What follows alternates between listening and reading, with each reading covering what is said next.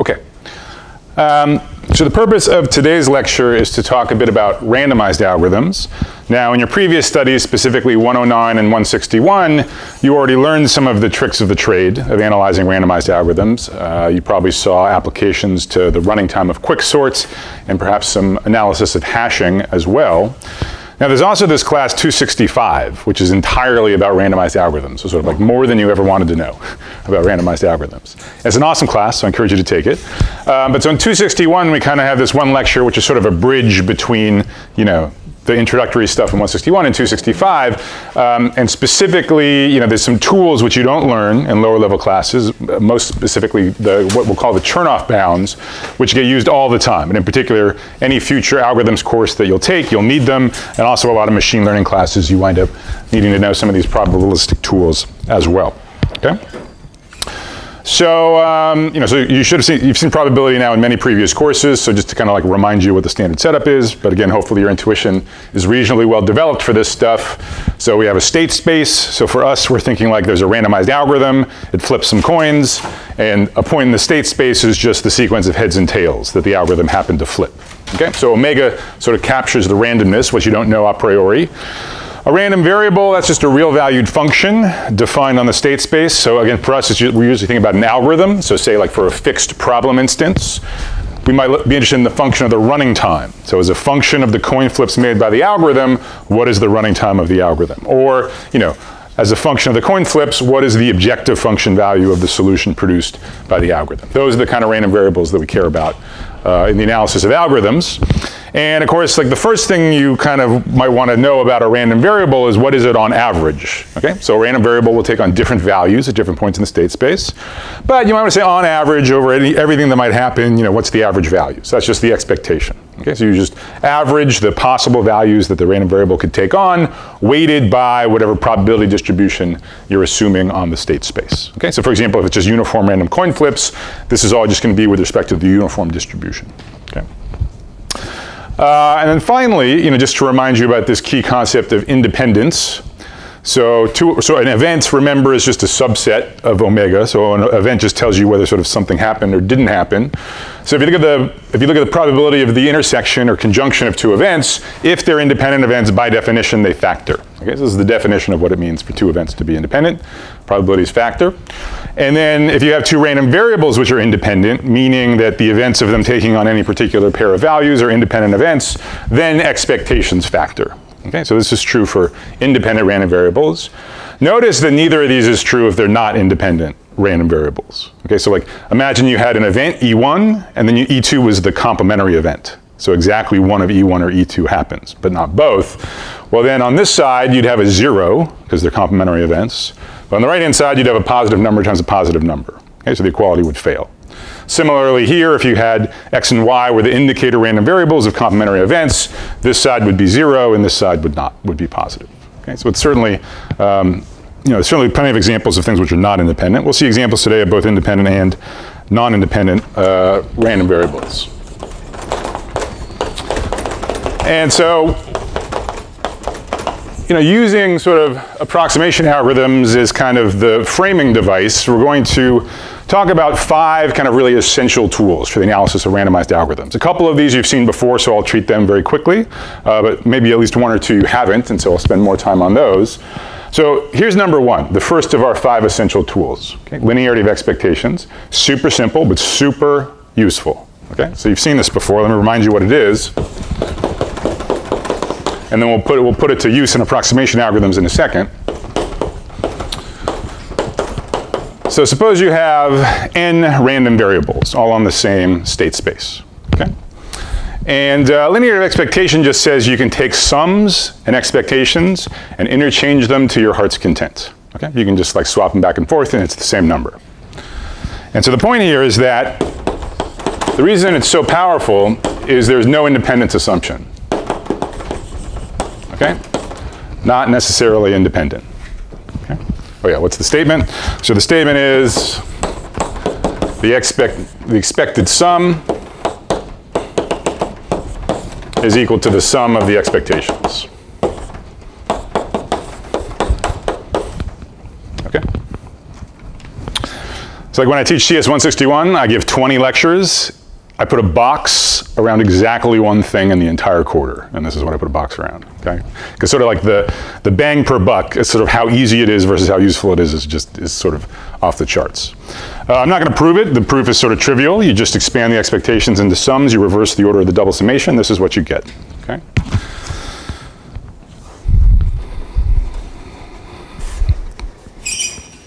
What else? Okay, right. So that's the key thing to remember about linearity of expectations. They need not be independent. Now, why should you care? What can linear of independence, uh, linear, excuse me, linearity of expectation do for you? Well, here's sort of the canonical use case in, the, in, in a lot of things, but in particular in algorithms. Imagine you have some random variable that you really want to understand, okay? Like the number of comparisons that quicksort makes, okay, for example, or the number of iterations that a randomized min-cut algorithm takes to terminate, something like this. Often, you can take a complicated random variable that you care about, like the number of comparisons used by quicksort, and write it as a sum of much simpler random variables, often in fact just 0, 1, or indicator random variables, okay?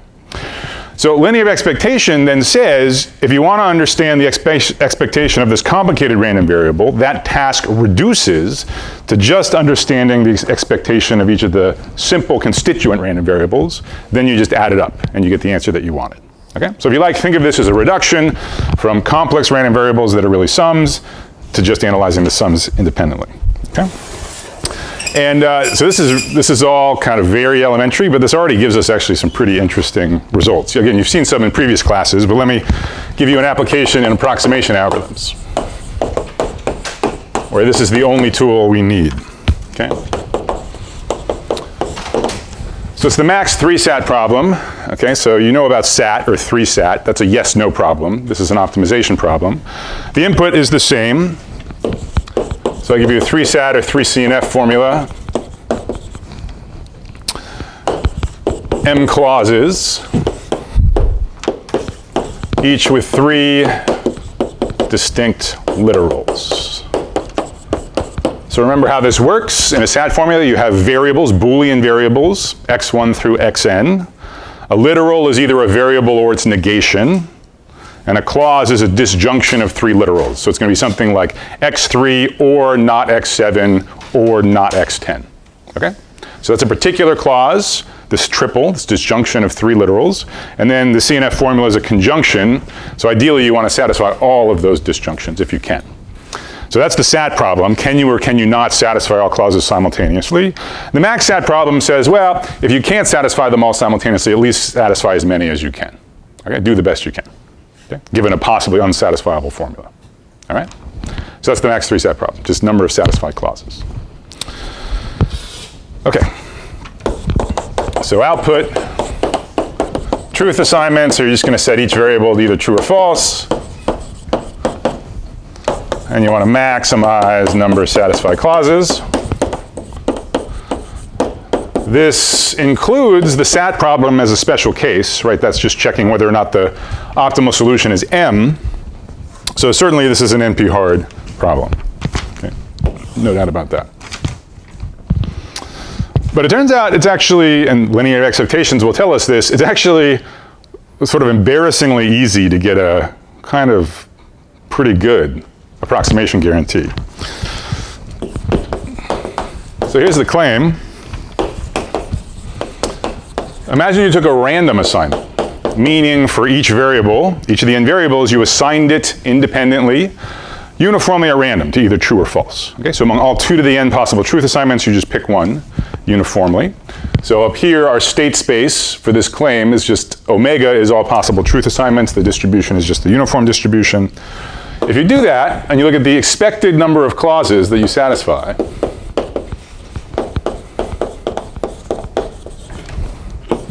you're going to satisfy at least 7 eighths of the clauses, or 87.5%. Okay? Now, opt can't possibly be any bigger than m, so by being within 7 eighths of m, you're certainly within 7 eighths of opt. So in other words, picking a random assignment is a 7 eighths approximation algorithm. at least with respect to the expectation. Okay? So this has a sort of existential consequence, which in my experience many people find very counterintuitive.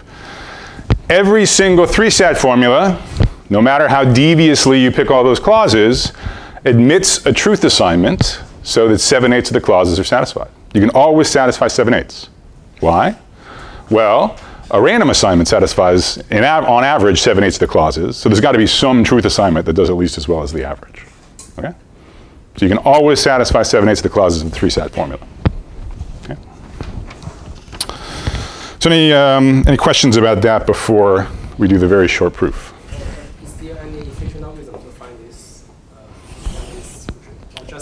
Well, define efficient. I mean, uh, you know, just picking one at random is pretty efficient.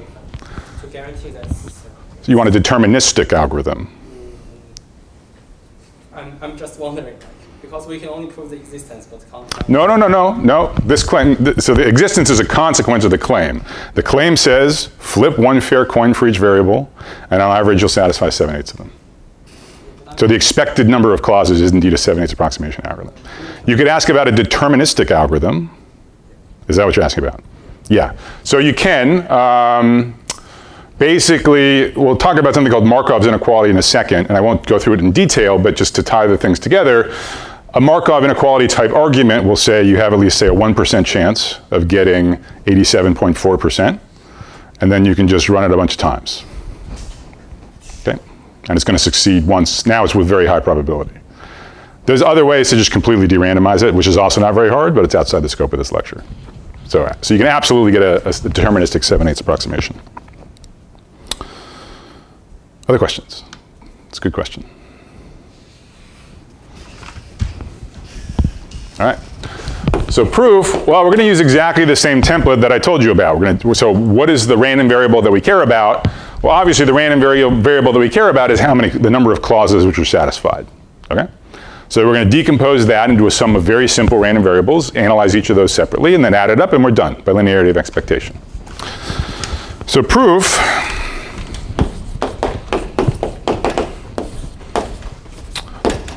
so define a random variable xj for each clause.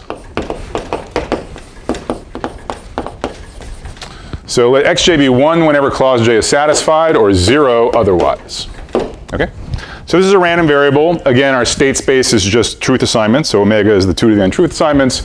Given a truth assignment, you certainly know whether or not clause J is satisfied. Okay? And it's just equal to 1 or 0 accordingly. So in other words, it's the indicator random variable for the event of clause J being satisfied.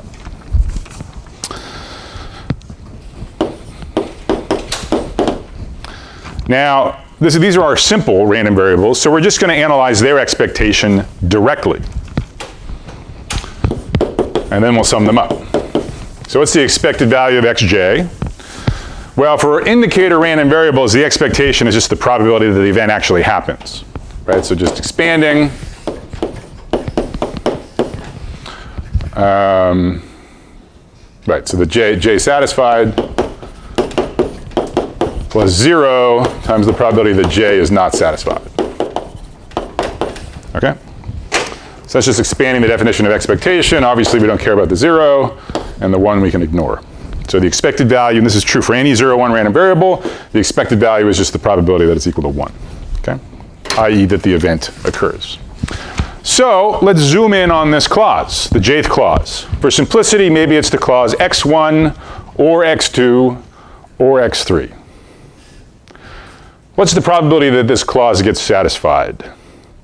Well, how could it not be satisfied, x1 or x2 or x3? The only way you could screw it up is if you manage to pick x1 false, x2 false, and x3 false. Any of the other seven out of eight possibilities satisfies the clause. We're picking a truth assignment uniformly at random, so the probability that we get one of the seven that work is seven out of eight. And of course, there's nothing special about x1 or x2 or x3, any clause. Only one out of the eight possible assignments to the three variables contained in the clause could fail to satisfy it. Okay? So that's where the 7 eighths comes in. Okay?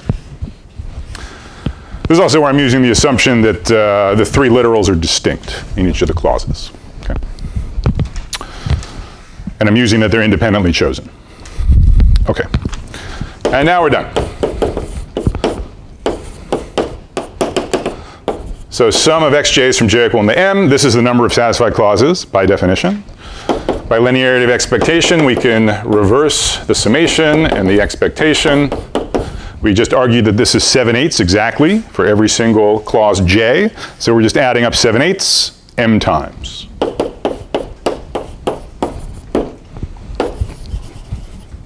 And that's the proof.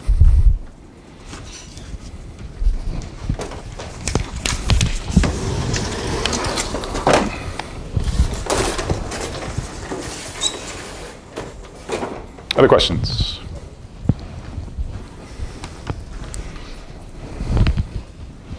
Yep. Does this take negation into account as well? Yep. So imagine the clause was not x1 or not x2 or not x3. The only way you could screw it up is by picking true, true, true. Any of the other seven are going to work. Yeah. So you really have a one in two chance to get each of the variables right. The clause is satisfied if any of the three variables are right. So there's only a one in eight chance in screwing it up. There's a seven in eight chance of getting it, getting it right. Other questions?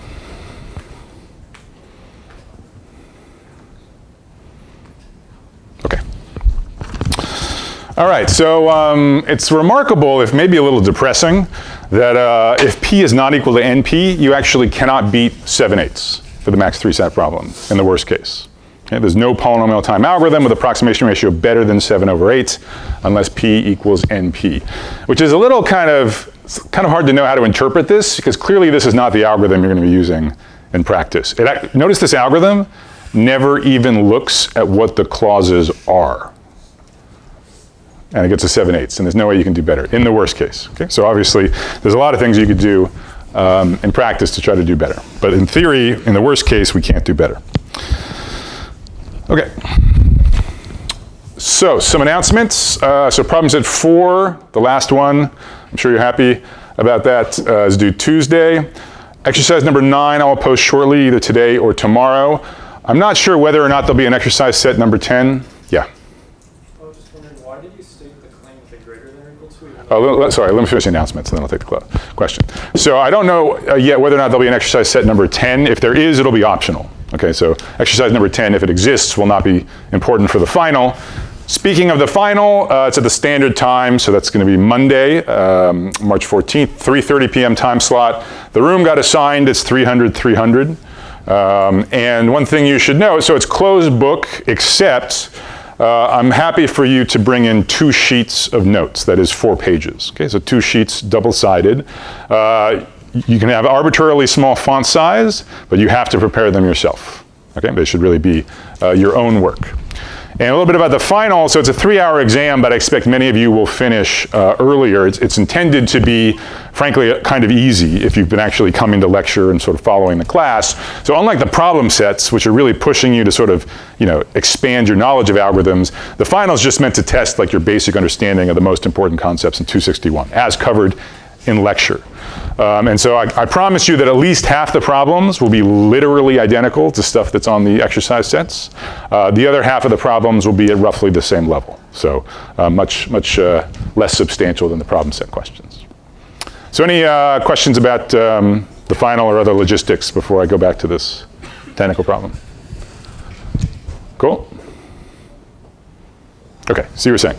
Uh, so why did you state it as greater than or equal to when we actually just proved equality? Yeah, so it is equal. You're right. I mean, you know, claim's still true, but uh, but you're right. I mean, it's it, it, it's a good observation. That's exactly 7 8 m. Somehow, like as far as our interpretation from an approximation algorithm standpoint, this is the direction of the equality that we're interested in. But you're right. It's no better than that. Absolutely correct. All right.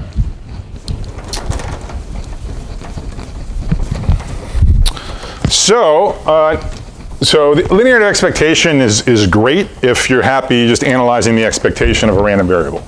It's really, uh, it sort of does what you need in many cases.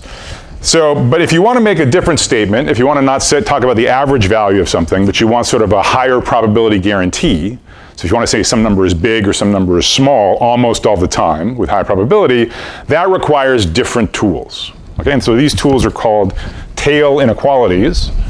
And this is what we're going to be talking about for the rest of the lecture. Okay? So the point of a tail inequality is to say that a random variable is very likely to be quite close to its expected value. Okay, so there's not much fluctuation. People often talk about this being proving the concentration of a random variable. So if you think of like the density function, you know, there should sort of be this big spike, you know, so think about like a Gaussian that's kind of very skinny. Okay? So you want sort of sharp concentration around the expectation. Now the way it works with tail inequalities and just randomized algorithm analysis, sort of no surprise, the stronger the assumptions you can make about the random variable you're talking about, the sharper the concentration you can prove. Okay? And so it depends on sort of the context, how much you have going for you, and depending on how strong your properties are, you're going to be able to prove better concentration bounds. So my plan next is to just show you the three most frequently used points on this trade-off curve. We're going to start with one where you assume like nothing and what you prove is very weak, and then we'll culminate with Chernoff bounds where you assume much more, but you prove really quite sharp concentration. Okay? But all three of these are useful in many, many different contexts. Okay? But so just keep that trade-off kind of in mind as we do them. And my plan is, so just to you know, make the trade-offs between these tail inequalities as clear as possible, I'm going to back off from approximation algorithms a little bit. I'm going to talk about a simpler setting, namely just hashing. But then at the end of the lecture, I'll bring it back and show you some ramifications for approximation algorithms. Okay? So as we discuss these, there's going to be three. Uh, I want to use as a running example um, uh, sort of the load of buckets in a hash table. Say a hash table with chaining, you can think about it. So, just to remind you the setup for hashing. So let's script H be a family of hash functions. Family just meaning set. Hash function just meaning a function H, taking a big universe, think of this as like 32-bit or 64-bit values, and mapping it down into some small number n of buckets. Okay? So here's your huge U. Here's your very modest size array of n buckets.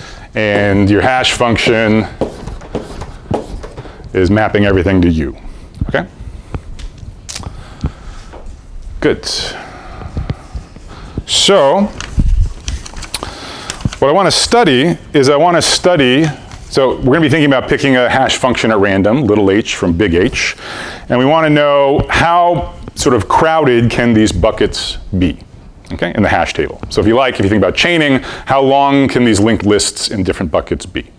And what we're going to see is as we assume more and more about the family of hash functions, we'll be able to prove better and better concentration of how uh, loaded the most loaded bin is, bucket is. Okay? So for starters, we're just going to assume something very weak. We'll strengthen the assumptions as we go along. So for now, again, it's assumption on the hash functions.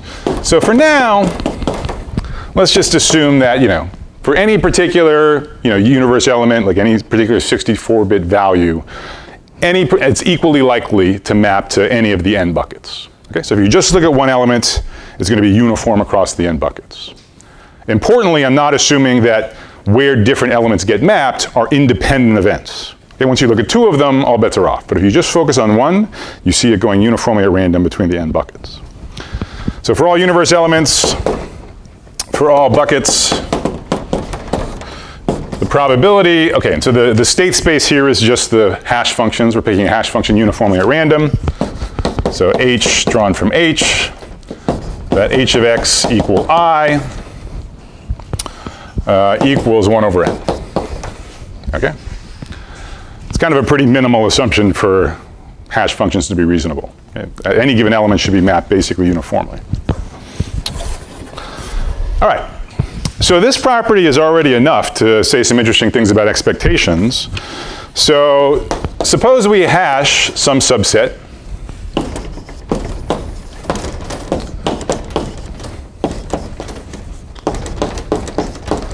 Okay, so n is the number of buckets just, you know, for simplicity, let's say we also hash n things. Okay? I don't care which n things, just some n things from this huge universe U. Okay? So certainly on average over the table, we expect, you know, one item for each bucket. There's n buckets, there's n items. But more than that is true. If you just sort of zoom in on some bucket, say bucket i, the expected number of items you expect to see in any given bucket is also equal to 1. And that's true by linearity of expectation. Okay? So the expected load by which I just mean the number of elements that hash to it.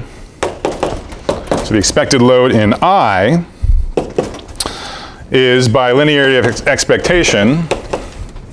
So again, we're using exactly the same paradigm, right? So if we care about the expected load, the expected number of things that hash to this bucket, we can just have an indicator random variable for each element of S, one if it hashes to this bucket, zero if it doesn't.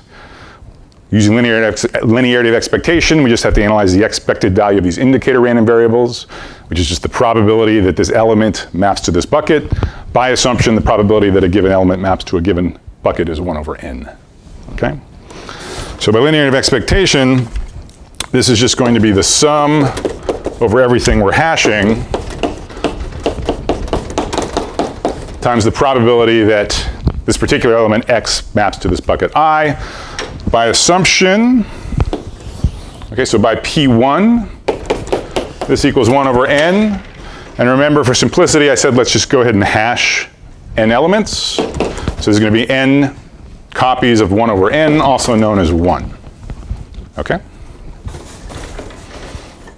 So I'm clear so far. So this is not surprising. Okay? So again, linear expectation tells us that as long as each element's uniformly distributed, not necessarily independently, you're going to have expected load of 1 in any given bucket. So let's now turn to concentration. To what extent can we say that this random variable, the expected load in your favorite bucket I, is concentrated around the value 1? I should say, you know, I didn't just make up this statistic from nowhere. When you're talking about hashing, you really do care about this, right? So think about hashing with chaining, for example. What's going to be the worst case lookup time in a hash table with chaining? Well, it's going to be whatever the longest linked list is in one of your buckets, okay? So this is really what we care about. We care about how big can the worst case load, I'm calling it, worst case number of elements hashed into a particular bucket be, okay? So again, this is sort of like, if you only cared about one statistic about a hash table, that would probably be the first one you'd pick. All right, so what about concentration?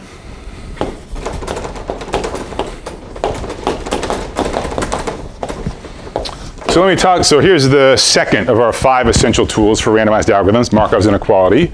This you may have also seen before. This is the one where we assume very little, but we're gonna be able to conclude not a whole lot about concentration. So all we're going to assume is that we have a non-negative random variable, like this one here, for example.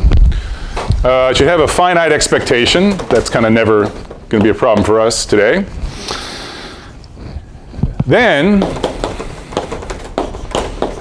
for all constants bigger than 1, the probability that x exceeds its expectation by a factor of c or more is bounded above by 1 over c. Okay? So you have a non-negative random variable. It has some expectation. The probability that it's bigger than 10 times its expectation is at most 10%. The probability that it's bigger than 100 times its expectation is at most 1%, and so on. Okay? So that's Markov's inequality. All right? It's very easy to prove. I'm just going to put it on exercise set number 9. Okay? It's really just kind of a one-line argument. Good. So let's apply this. So what does this tell us about the probability that the load in a bin is much higher than its expectation? So for example, again, fix your favorite bucket, bucket number seven, whatever. Probability load in bucket I, well, so we can take C to whatever we want, but let's take C equal to N the number of buckets, or equivalently the number of things that we're hashing. So the probability that the load in bucket i is bigger than n, well remember we calculated the expectation. The expectation was 1. So this means being bigger than n times its expectation. That is c is equal to n here. So we conclude that this is with probability at most 1 over n. Okay?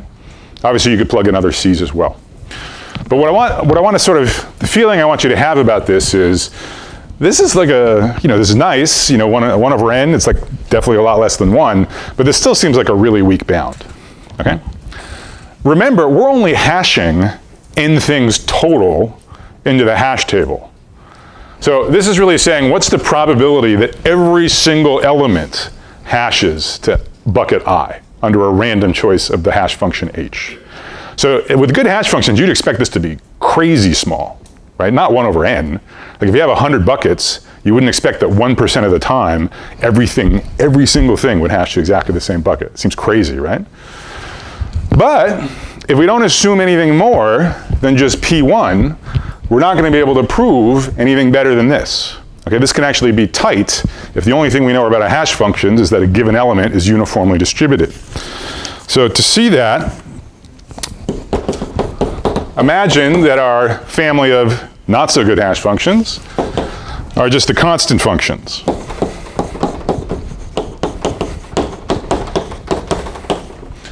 Okay, so functions of the form h of x equals i, no matter what x is.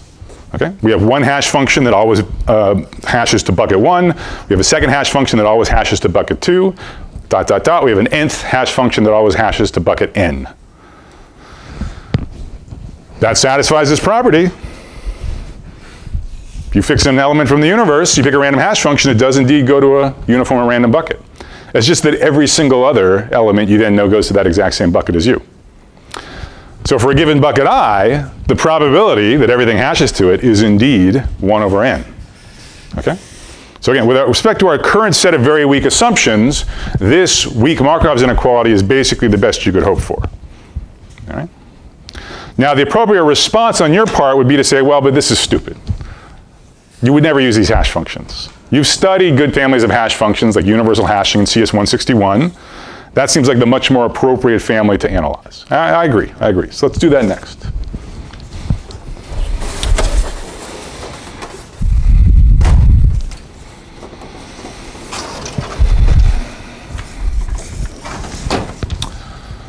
So we're going to continue to assume property P1, but we're going to assume something stronger about the family of hash functions. We're, basically, it's, we're going to assume is universal in the sense that you learned in CS161. Okay.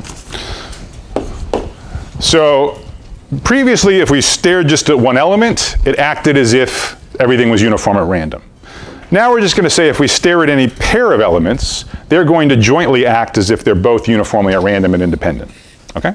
So fix your two favorite distinct universe elements, range over the hash functions.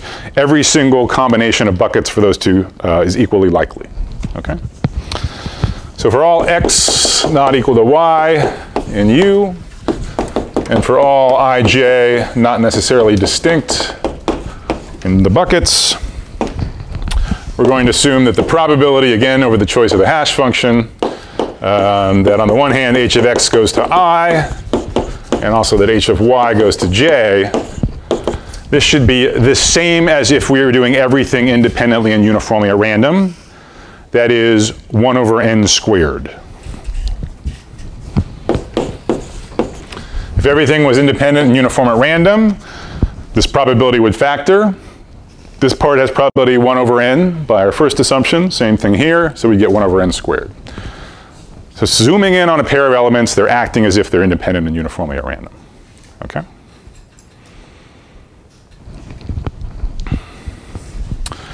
Just a quick example. You've probably seen this before, but uh, so this is this is uh, these are known as uh, I should say pairwise independent hash functions.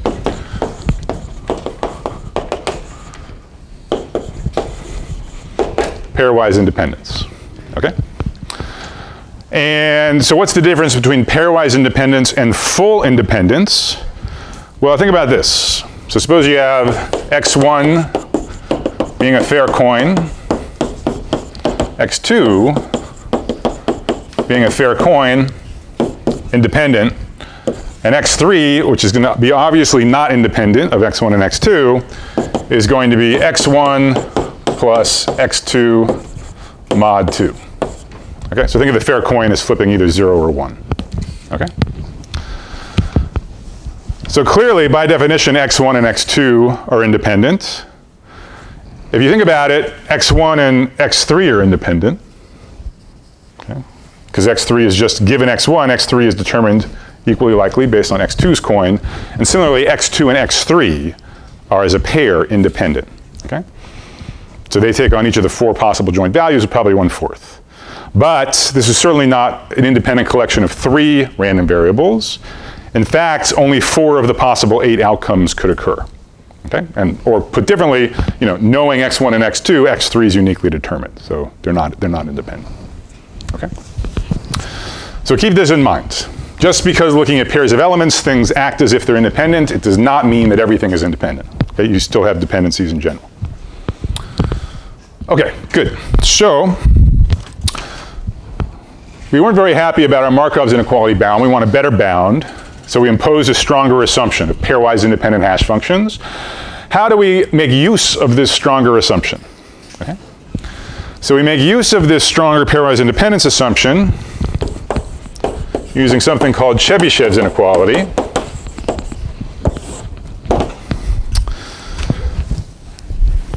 So the point of Markov's inequality is to get sort of constant probability bounds when you just know something about the expectation.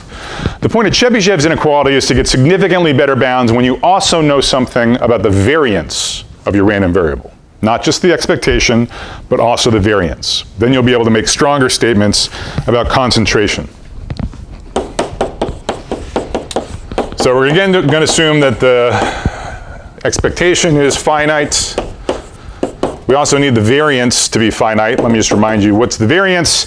You just look at the difference between this random variable and its mean, you square it, and you take the average. Okay? So variance is just average kind of squared difference from the mean. So expectation, the random variable minus its mean squared. That should also be finite which it will be in sort of all cases we care about. And then what do you prove? Then for all t bigger than 1, the probability that x differs from its expectation by more than a t number of standard deviations. Standard deviation, remember, is just the square root of the variance. So, you know, as, as the deviation from the mean becomes more, and more, more and more deviations out, we're going to have the smaller and smaller probability here. In Markov's inequality, we just had it going as 1 over c. Here, we're going to have a 1 over t squared. Okay? So for any random variable, the probability that it's at least two standard deviations away from its mean is at most a fourth probability it's at most 10 standard deviations away from its mean is at most 1%, and so on. Okay? That's Chebyshev's inequality. Okay? So it's the tail inequality, which is useful and kind of like the handle you have on your random variable is variance and not really anything else. Then you're kind of stuck with Chebyshev. Okay? So what does this mean for us, for our running hashing example?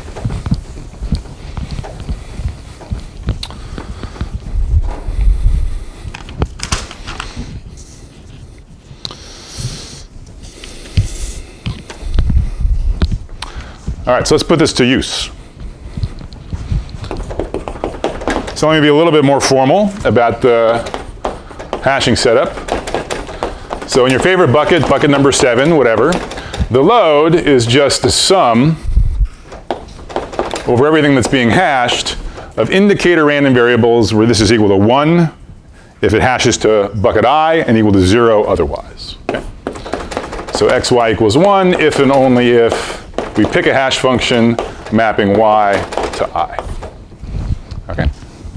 So we said this at the very beginning. Right, so we already know that the expected value of this equals 1. We already knew that from P1. Okay? Uh, let me actually call this x. So as we saw, under P1, we have that the expected value of x is 1. All right? And we've had that all along, so that's not a new idea. So what about variance? Okay, so what about the variance of the load? Well, here again, we're going to take this complicated random variable, and we don't want to analyze the variance directly. We instead want to analyze the variance of the constituent parts. Okay?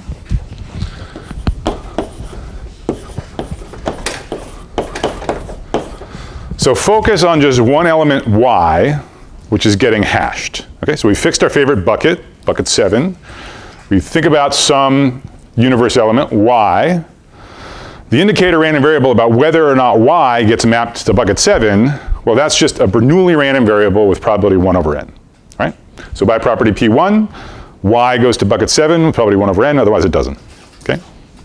So really, this is just the variance of a Bernoulli random variable with probability 1 over n. So you look that up on Wikipedia, and you're like, oh yeah, it's p times 1 minus p. That's right. I knew that. And for our purposes, let's just use an upper bound of 1. Sorry, of 1 over n. Okay? So very easy to just analyze the variance of one of these little guys. But what we care about is the variance of the load, okay, the overall load in bucket I. So by, this is now the first time we use P2.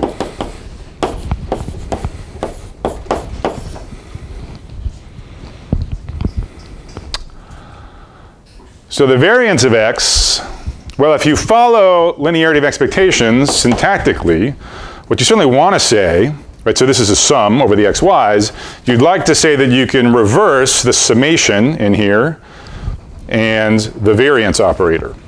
Let me actually write this out.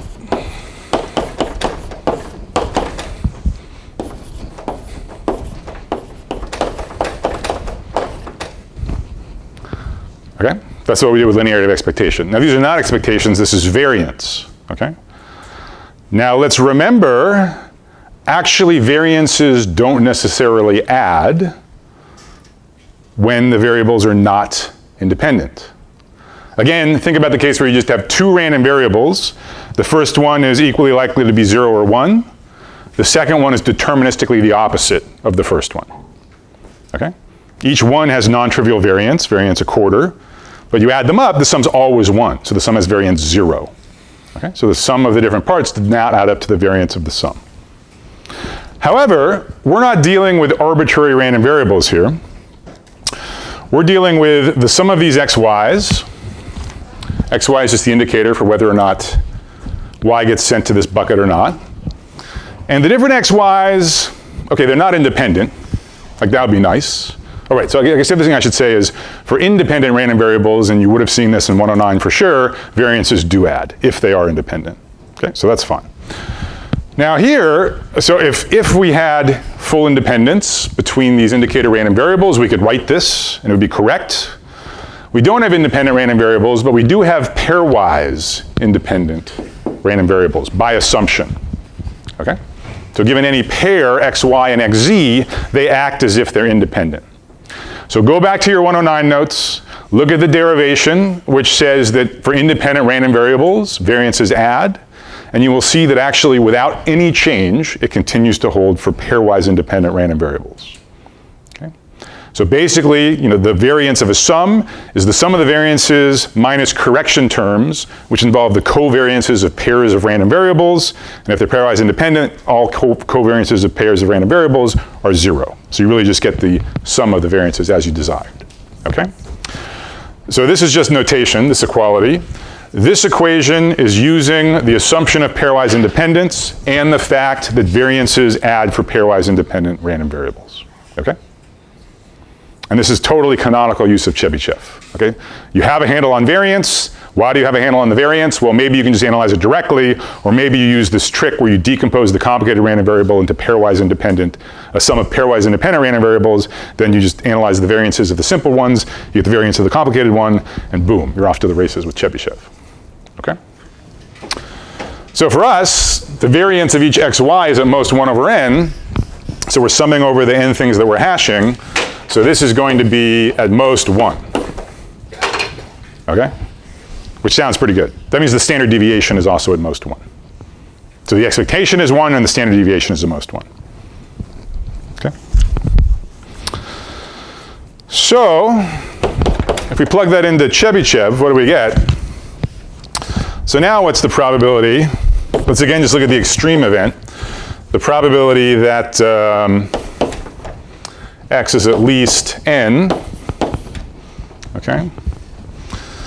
So the expected value is 1. The standard deviation is at most 1. So x being bigger than n basically means it's, it's you know, bigger than its expectation by n standard deviations. Maybe it's n minus 1, but let's call it n standard deviations. Okay? So in other words, t is equal to n if we think about this inequality in this format. Okay? So with t equal to n, we get an upper bound of 1 over n squared. Okay? Definitely better than our bound of 1 over n we got from Markov, but it still seems a little crazy. Right? Like if you had a good hash table and you hashed 100 things and you had 100 buckets, 1 out of 10,000, every single item would go to the same bucket? Really? Seems kind of crazy. But yet again, and this is a good puzzle for you, if the only things we assume are P1 and P2, you cannot prove a better bound. Okay, so in fact, there are pairwise independent hash function families where the expected load of something, everything will hash to a single bucket with probability 1 over n squared for that bucket. Okay, it really can happen. So again, you might want to think about that as a puzzle offline.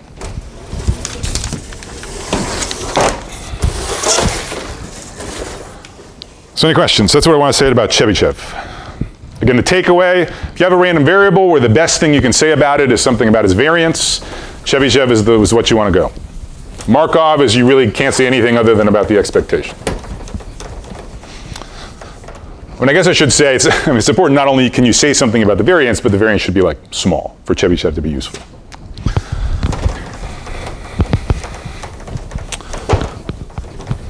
Okay, so any questions? All right, so now let's go to the other extreme point of our trade-off curve where we assume the most and we start getting really sharp concentration. So let's actually assume that, you know, we just have fully independent hashing. Okay, so each pair of items match, uh, so all items are sent uniformly and independently to, to different buckets. So independently plus uniformly distributed.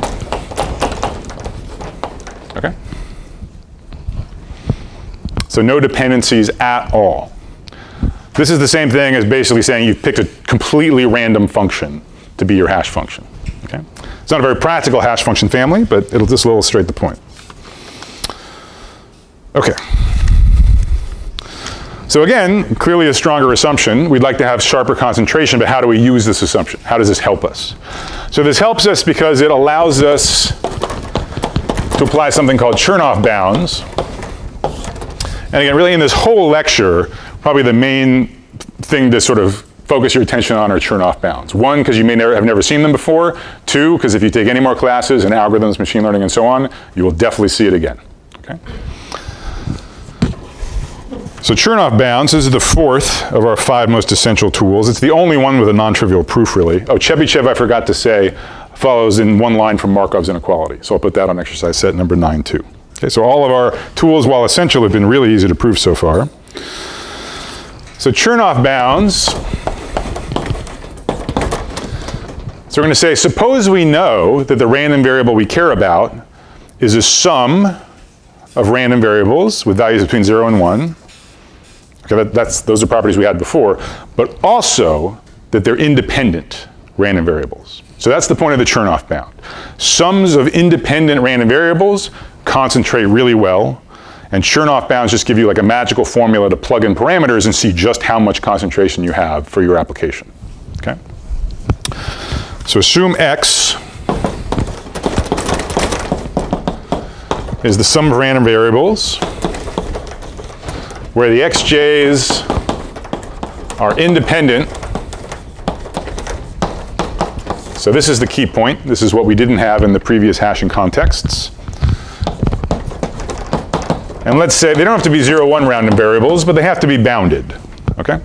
So let's scale so that everything is always between 0 and 1. All right? So they should be bounded and they should be independent.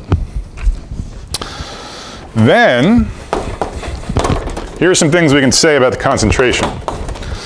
There's going to be two parts to the Chernoff bound, one saying that it's not likely to be much more than the expectation, one saying it's not likely to be much less. Today we'll only use the first one, but in general the second one is also useful. So how do you say, how do we say can't be too much more? we say the probability that x exceeds its expectation by a 1 plus delta factor. Right, so if delta equals 1, we're saying what's the chance that it's at least double its expectation. This is a most, okay, sort of a weird number. but we'll, I'll show you some concrete examples in a second, but I do need to get it on the board. This is E meaning 2.718 dot dot dot, that's what that E means. And then upstairs, we have the same 1 plus delta times the expected value of x. Okay? So exactly the same number here on the right-hand side shows up in the exponent. Okay? So you're going to want to think of delta as being at least 2 so that this number inside is less than 1. Okay?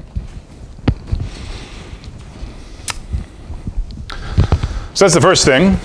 So this is saying, this is saying a sense in which it can't, it's not likely to be too much bigger than its expectation. And then also, again, we won't use this today, but very useful.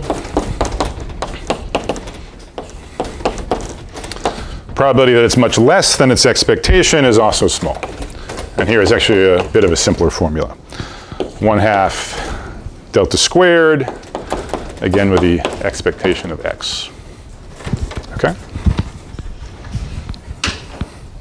And this is the one we will use a couple times.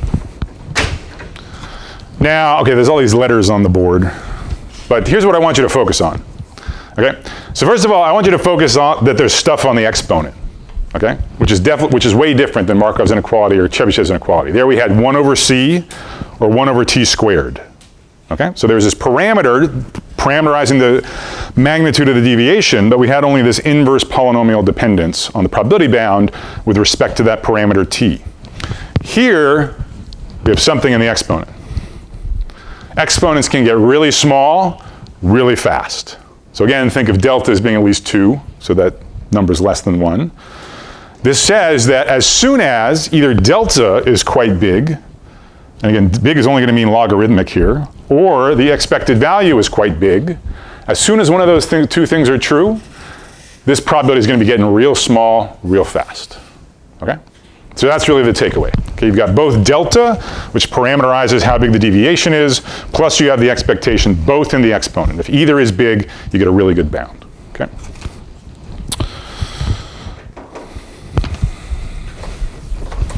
All right. So let's put this to work. Oh, so the proof, we, uh, we totally could do the proof in 261. It wouldn't be a big deal. Take us maybe 20 minutes, 30 at the most. But it's really just the kind of thing that you prove in 265. That's really the appropriate place to spend 30 minutes on the proof of the Chernoff bounds. So for our purposes, I'm happy if you just kind of know that these are true and have a sense of how you put them to use. Okay, and know that if you ever need the proof, you're all perfectly well positioned to read it uh, in a book or in 265. Okay, so time permitting, I'll give you three examples of Chernoff bounds. I'm going give you a couple. So first, let's re return to the hashing example.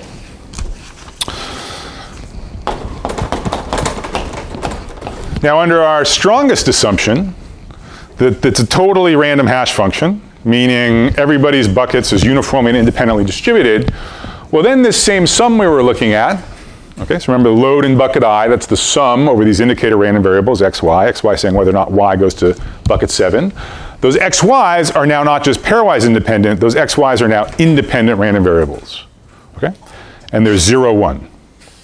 So the load in the bucket, i.e. capital X, is now the sum of independent 0, 1 random variables, which is exactly the wheelhouse of the Chernoff bound. Okay? So we can just apply the Chernoff bound to the random variable we care about, capital X. Okay? So the only thing, right, so we know what EX is. We know the expected load is 1. We do have this free parameter delta. Okay, sometimes it takes a little trial and error to figure out like what you should be taking delta to. But uh, let's start with this. So let's just start with the probability that the load in bucket, uh, bucket number 7 is bigger than the natural log of n.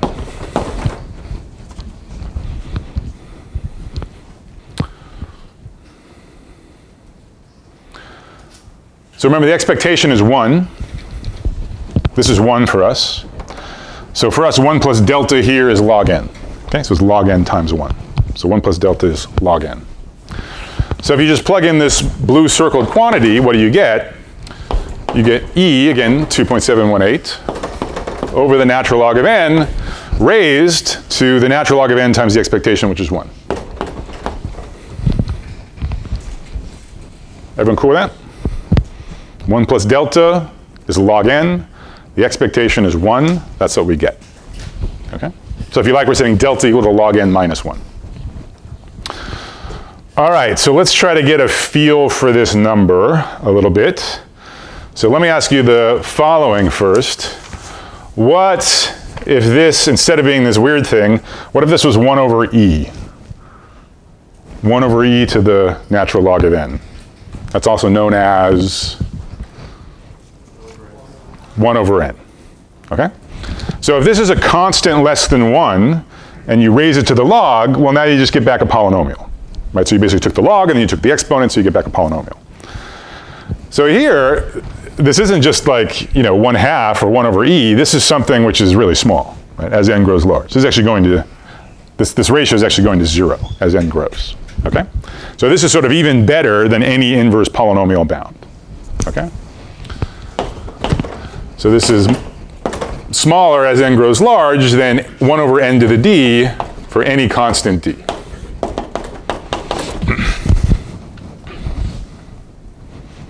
Okay?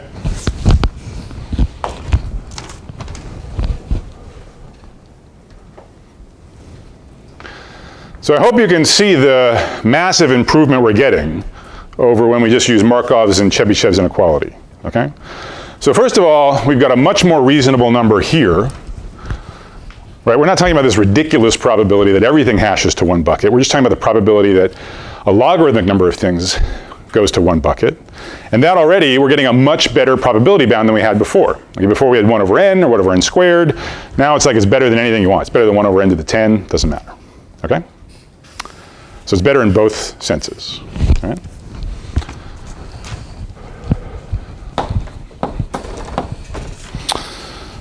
So you can actually get away with even a somewhat smaller parameter.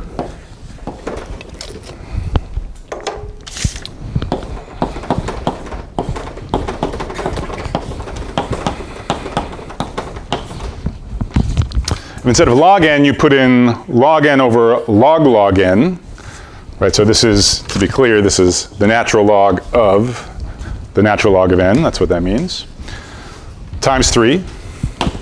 This is the most 1 over n squared. Okay? And I'll let you go ahead and verify this if you're interested or plot it later to see that this is true. If you're wondering like, okay, log over log log, that's kind of weird. Like where'd that come from? It's actually not that weird when you realize, okay, suppose I wanted you to solve the equation x raised to the x equals n. So in other words, what number raised to itself is equal to some integer n? There's no closed form for that equation, but the up to lower order terms, the answer is log n over log log n. That's how it comes up. It's the solution to x to the x equals n. Why do we have an x to the x? Well, over here we have this 1 plus delta, or 1, you know, 1, you know, whatever, 1 over 1 plus delta, and then there's a 1 plus delta. So that's why we care about x to the x. Okay? Good. And so just, you know, just for comparison purposes, if we did plug in x being at least n, the way we did for Markov and Chebyshev, where we just got these pathetic bounds of 1 over n and 1 over n squared, here we plugged in the probability of x being at least n, we get something exponential, exponentially small in n. We get like 1 over 2 to the n or something like that. And that maybe sounds more like about right, okay?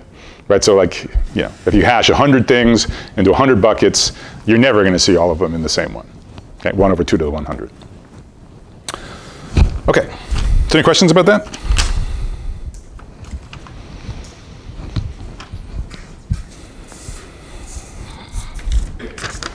All right.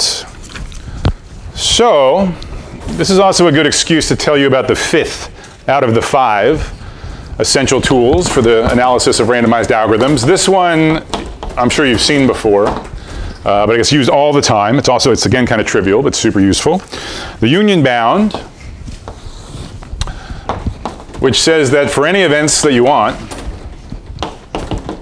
E1 up to EK, now in algorithms, usually these are like bad events. These are things you hope doesn't happen, like your algorithm screwing up, okay? So if you have bad events, so what this says is just if you don't have too many bad events and each of them is very likely, then it's very likely that none of them will occur. Okay? So precisely the probability that at least one EI occurs is at most the sum of their probabilities. Okay?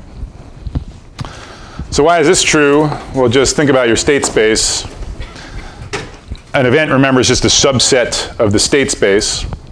So you just draw the circles corresponding to all your events. This left-hand side, this is just the area of the union of all of your events. Okay? And clearly a way, you can only overcount the area of the union of all of your events by looking at each event separately and adding up their respective areas. This is basically like the inclusion-exclusion formula, but without any of the correction terms. So you'll only overestimate by summing these up. You'll overestimate in general because there'll be some overlaps. If the events are disjoint, that's the case where this holds with equality. Okay? So that's the union bound. So again, what's the point? If you have not too many bad events, each one is quite unlikely, then with decent probability none of them will happen.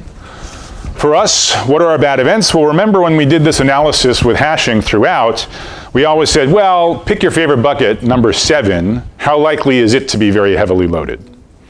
But really, if you think about it, if you think about a hash table or something, you care about, you don't want anything to be overloaded. You want everything to be very well balanced. But here we said that, you know, our favorite bucket number seven, the probability that it's loaded bigger than 3 log n over log log n is at most 1 over n squared there's only n different buckets that could be overloaded. So if we just take the union bound over this event for each of the buckets, 1, 2, up to n, it's a union bound over n events, each a probability at most 1 over n squared, so that probability is at most 1 over n. Okay?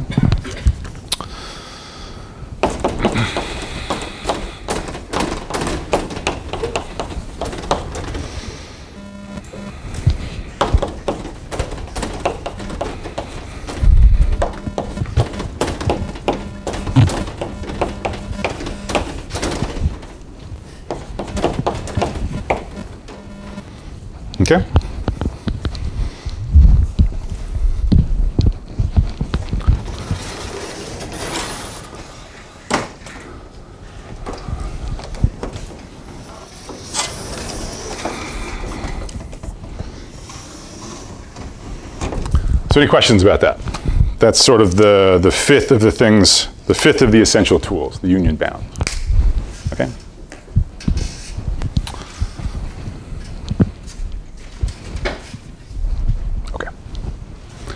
All right.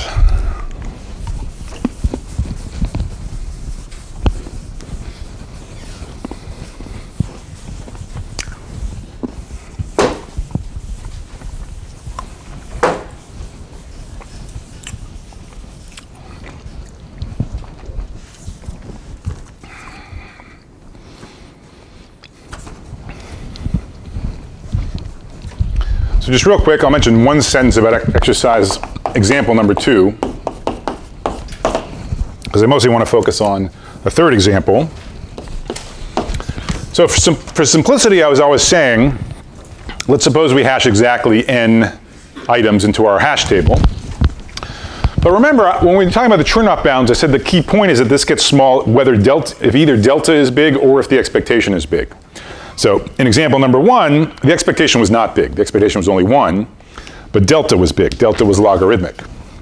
So let's look at the other case.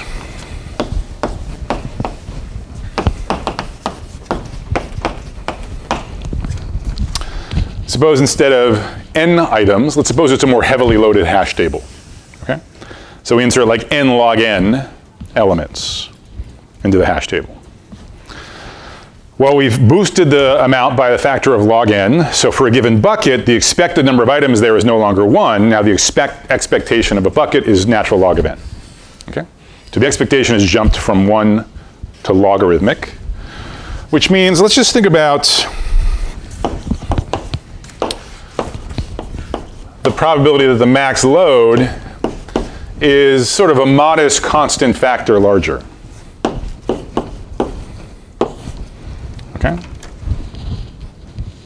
So remember last time we had our expectation of 1, and we were having this sort of fluctuation of up to log over log log, which is tight, actually, by the way. So in general, the longest linked list in a hash table, even with a fully random hash function, will be asymptotically log over log log.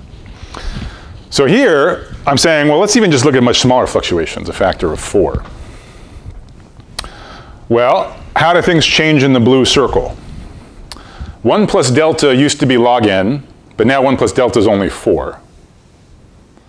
On the other hand, the expectation used to be 1, and now it's the natural log of n. Okay? So delta is now constant, but now the expectation makes up for it by being logarithmic. So again, the blue circle is going to be less than 1 over n squared.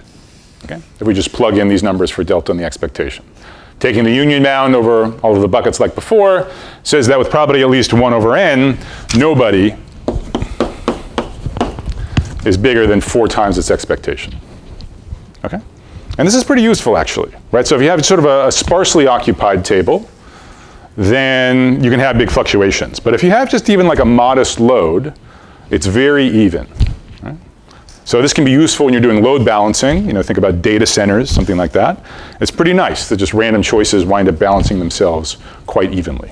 It's a useful property.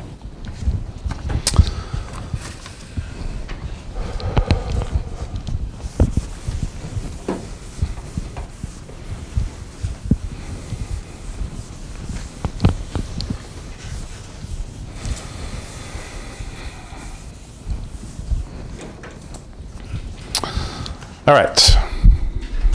So last example. So now I want to sort of bring it back on home to approximation algorithms. We already saw one application, max3sat, of randomization approximation algorithms, but let me give you a, I'll only have time to sketch it briefly, but let me just give you a sense of this. This ties in with what we were talking about last lecture, namely using linear programs to design approximation algorithms.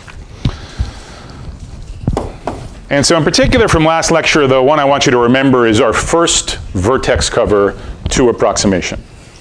How did it work? We wrote down a linear programming relaxation. What does a relaxation mean? It means any vertex cover corresponds to a zero-one solution, but then there's other fractional stuff as well in the relaxation. You solve the linear program optimally, so that gives you a lower bound on the best possible vertex cover because it's a relaxation. Now, in general, the vertex cover will have fractions, as we saw last time, and fractions don't make a vertex cover. So you got to massage it into a vertex cover. How do you do that? You sort of round it to integers. How did we do that last time? We just said, well, you know, any variable that's at least a half, make it one. Any variable that's less than a half, make it zero. In other words, round everything to the nearest integer value. Okay, that worked great for vertex cover. The idea in randomized rounding is to, again, you solve the LP, solve an LP relaxation.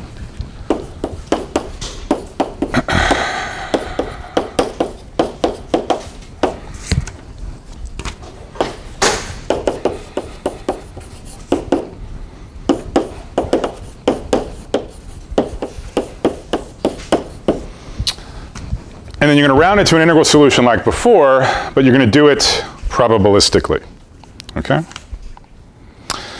Specifically, right, so the, the problem with the LP relaxation is it has fractions.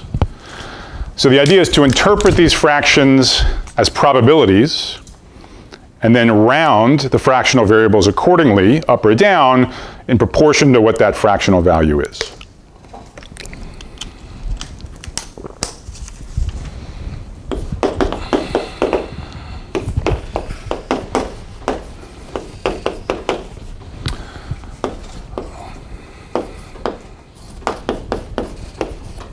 Here's sort of the canonical application of randomized rounding. I give you a graph. Could be directed or undirected. And I give you source sink pairs. Okay? So you have a graph, source sink pairs. And the question you want to know is, is, can you choose a path, just one path, from S1 to T1, from S2 to T2, and so on, up to, from ST to uh, TK, so K paths in total, so that no edge of the graph is used in more than one of the paths.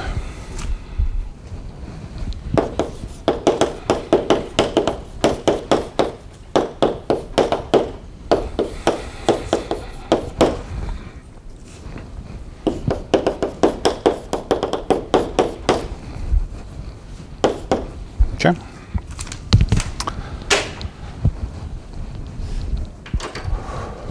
So for example,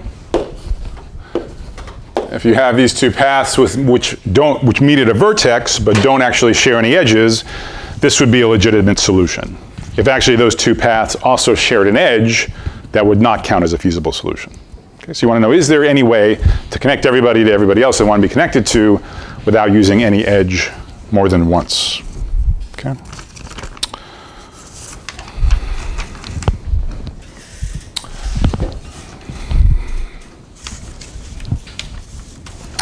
So that's an NP-hard problem.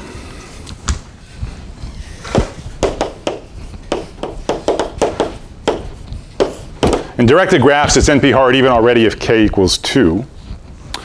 So what do we do? So what would an approximation algorithm look like? Okay. Well, we're going to do this randomized rounding approach. All right. So we're again going to solve the LP relaxation. I'm not going to write it down.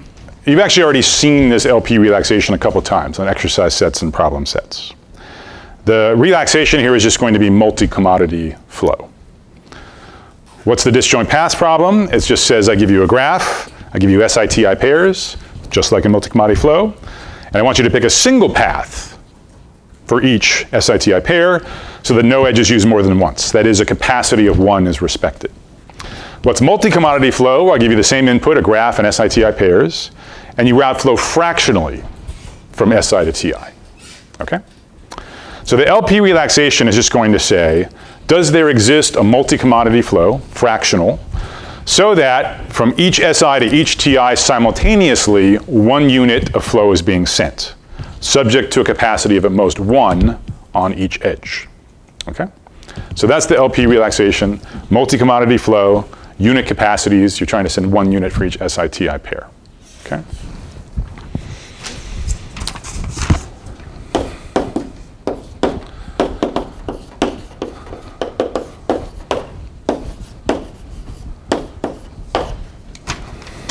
Now, if your LP solver comes back and says, couldn't do it, couldn't find a multi-commodity flow meeting those constraints, well, then you're done, right? Because any collection of edge disjoint paths is a very special case of a multi-commodity flow routing one unit from each SI to TI with no edge over capacity, okay? So if you can't even have a multi-commodity flow, then you're not going to be able to have um, disjoint paths.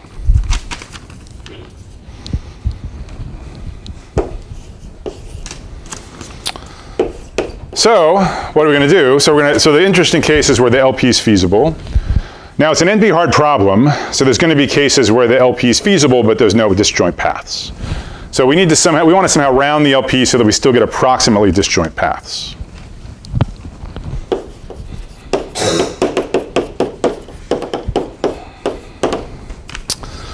So here's what we do. So we choose a path for each, so we have the LP solution, we have the multi-commodity flow. For each SIT pair independently, we say, well, look at how it distributed flow over paths from SI to TI. Okay? It sent a unit of flow total, remember. We're just going to pick an SITI path at random with probability equal to the amount of flow on that path in the LP solution.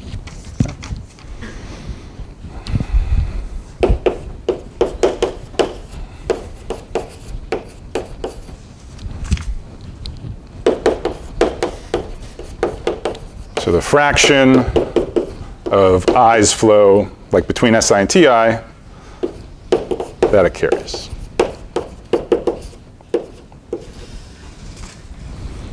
And again, this makes sense because in the LP relaxation, a unit of flow gets sent from SI to TI. So we can interpret its fractional splitting of flow over the paths. We can interpret it as non-negative numbers summing to one. We can interpret it as a probability distribution. So it's well defined to say pick a path according to that distribution. And then we do that independently for each SITI pair. Okay? So that's randomized rounding.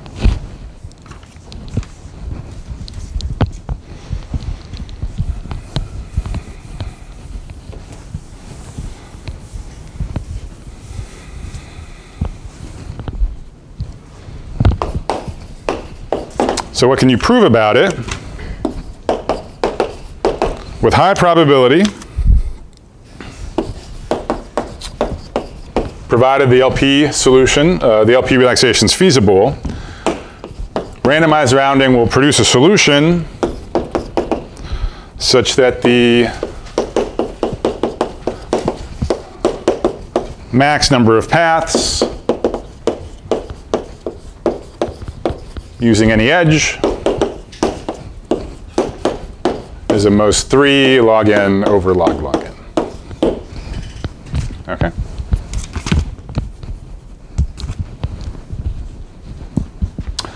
So these are not disjoint paths. Disjoint paths would say that the max number of paths using any edge is at most 1. But again, it's NP hard, so we're not expecting to find NP uh, to find disjoint paths. But this says at least we can find a solution where no edge is used by too many paths. So if you like, this is an approximation algorithm with respect to the objective function of minimizing the maximum load on any edge of the network. It's another way to think about it. So this is the original and still to this day canonical application of randomized rounding. It's from the mid 80s. So back then, um, the authors, Raghavan and Thompson, they were motivated by circuit layout problems. So they were thinking about, you know, the graph would be like a grid, okay, where you'd be laying out a circuit. Their SITI pairs, they were contact points on the boundary where you needed to have a wire laid in the circuit in between the two contact points. And actually, this kind of solution was fine for them because you could always just sort of widen the channels in the chip so that actually a whole bunch of wires could be laid down in parallel. So the fact that over here on a single logical edge of the network, you actually are routing a logarithmic number of different things, that was an acceptable solution for the application. You just make the channels a little bit wider and you're good. So how do you prove it? We're almost, we're almost out of time, so I'm not going to prove it formally. I'm just going to sort of argue by analogy. Really, this follows from the hashing analysis we already did, from our example number one of Chernoff bounds. And this was really the paper that ported Chernoff bounds over into the algorithms community. So you zoom in on a single edge. On a single edge, the expected number of paths that get routed on it is at most one. Why? Because in the LP relaxation, we gave this edge unit capacity. So the total fraction, total amount of fractional flow using this edge was at most one. That translates to an expectation of at most one of how many paths get chosen that use this edge. Now on this edge, once you have this, now you have this sum of random variables. Okay, so just like before, we said how many elements get mapped to a particular bucket. Now instead of a bucket, we have an edge. Instead of elements, we have these paths. How many paths get mapped, you know, how many paths get chosen that include this edge? That's exactly that same sum of random variables. Again, we have independence across commodities, so we can use the Chernoff bounds. And because all the parameters are the same, we can even stick in the same number here. Actually, I should say uh, m.